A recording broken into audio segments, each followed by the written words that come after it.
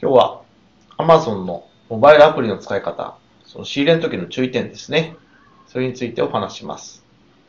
まず、まあ、この記事のようにですね、Amazon モバイルアプリを使って、ま、商品を検索します。でその時ランキングをチェックするのが大切なんですけど、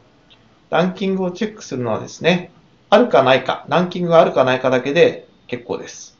ランキングないなら売れるとか、ないなら売れないとか、え、そういうことを気にするとですね、えー、かえって儲からないです。それと、まあ、ランキングを見るまでもなく、レビューがついてることがあります。で、レビューってのはね、5つ星のうち、まあ、星が4つとかね、星が3つとか星が5つとか、そういうやつなんですけど、えー、まず、Amazon モバイルアプリで、なぜランキングをチェックするかというと、売れたことある商品かどうかっていうのをチェックするためなんですね。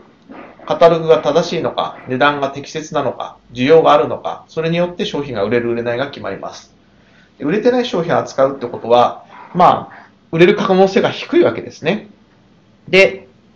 まだ初心者で何が売れるかわかんない状態で、売れる可能性が低い商品を扱うと、売れない可能性が高いと。だから、ランキングをチェックしてランキングがある商品を買います。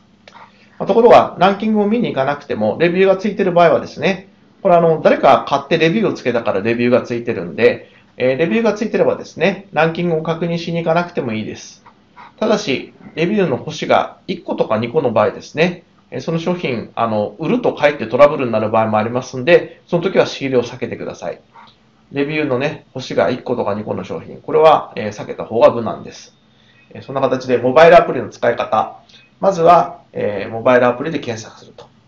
で、検索したときにね、えー、レビューがあれば、星が出てきます。で星があれば、ランキングまで見に行かなくても大丈夫です。で通常はね、ただ、えー、Amazon っていうのは、まあ、よっぽど人気のある商品、あるいはね、よっぽど豆な人が買わない限りレビューってつかないんで、えー、レビューはないです。で、その場合は、ランキングを見に行って、ランキングがあるかないかを確認して、ランキングがあった商品を仕入れると。ランキングの有無、まあ、レビューの有無、それから、えー、